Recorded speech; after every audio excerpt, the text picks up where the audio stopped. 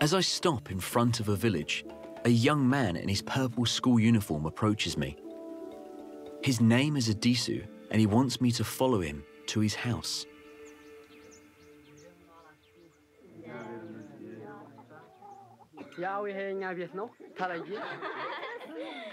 This is our home. We split the room in two. On this side, it's for us, and this is for the animals. This bench is for the parents, and the kids sit around the fire. The fire warms us because sometimes it's only five degrees. When we've eaten, we go to bed up there. And now, as you can see, we drink coffee.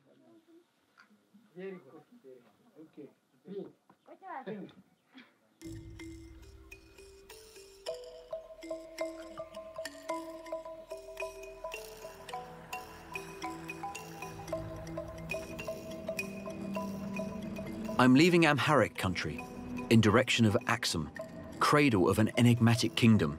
I'm entering the foothills of Tigray. It's October, so it's harvest time.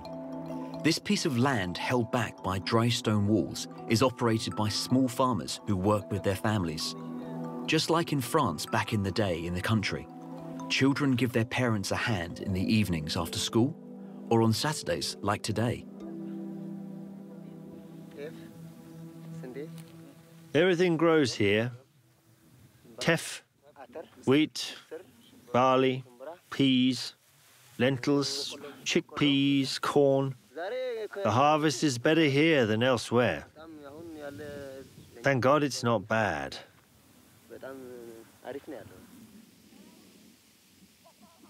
The gesture of this old woman of Tigray enchants me. She throws handfuls of barley into the wind to separate the seed from the pulp. It's the winnowing, a practice from the ingenuity of the pioneers of agriculture. How many children do you have? I've got seven kids. Four of them have finished school, and three are here with us. With this, I make roasted barley for oatmeal. It's for my children. It'll give them strength. I give it to them. I give it to them. I give it to them.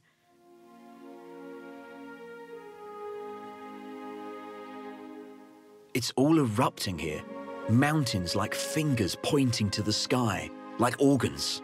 And there, two huge rocks. It feels as if a giant has rolled them over.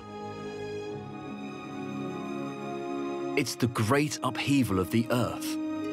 I feel here an impression of grandiose, of course, but also of eternity, as if everything has always been this way.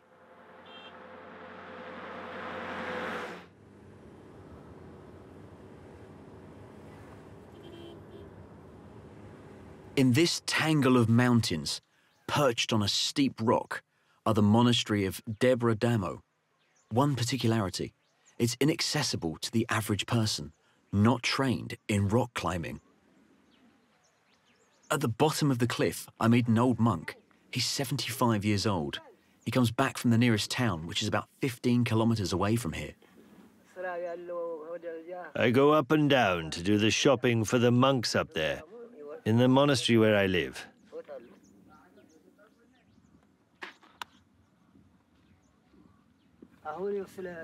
Now I'm old. I need to be tied up to climb. Until recently, I was going up on my own, unattached.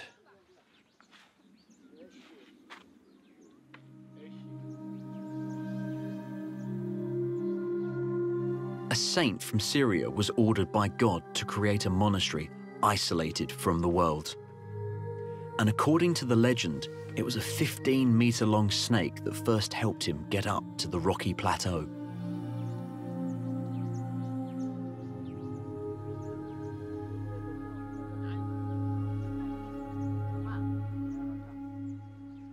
Faith nourishes the Ethiopian people's soul. To attempt separating anything between their beliefs, legends and stories, I want to go to Axum, the mythical city in the north.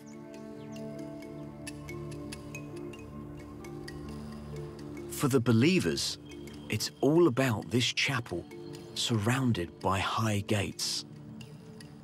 Behind the curtain at the entrance would be the famous Ark of the Covenant, which contains the tablets of the commandments given to Moses on Mount Sinai. No one can see it, but people come from all over the country to benefit from their supernatural powers.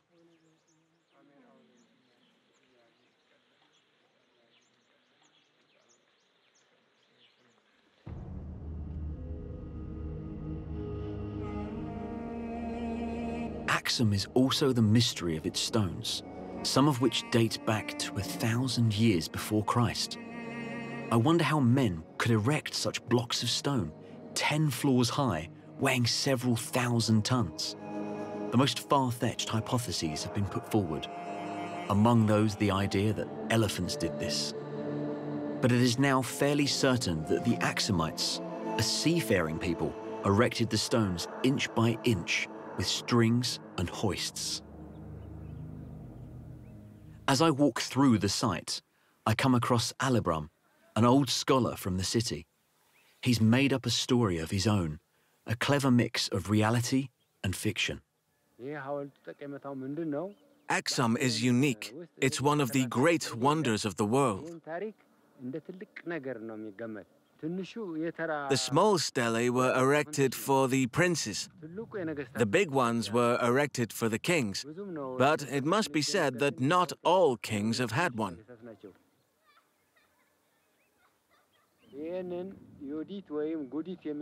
It was a queen who got this one down. She wanted to destroy the religion of the serpent god and erase history.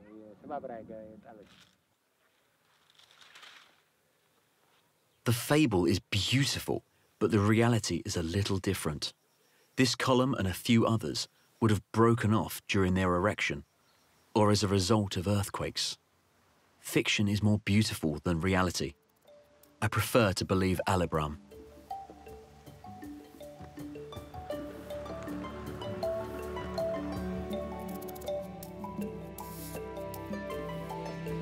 I have completed my expedition to the north. I continue my trip down to Gondar, the imperial city.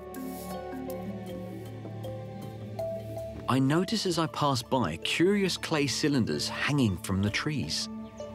I know that this region holds one of the eternal riches of Ethiopia honey. Two beekeeping brothers are happy to show me their hives. For them, honey is a gift of nature, a symbol of sweetness and wisdom, as it is written in the Bible. They believe in all of its virtues. I love it. I love bees. Honey is a medicine. For example, if you have a, a stomach ache and you eat this honey, you'll be cured. We collect a lot here. You could get at least 10 kilos of honey from that tree. Bees are less aggressive at the end of the day.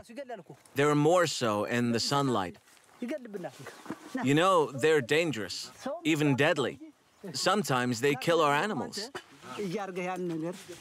They can kill people too if you don't get out of there fast enough. So we have to be very careful. Be on your guard just in case.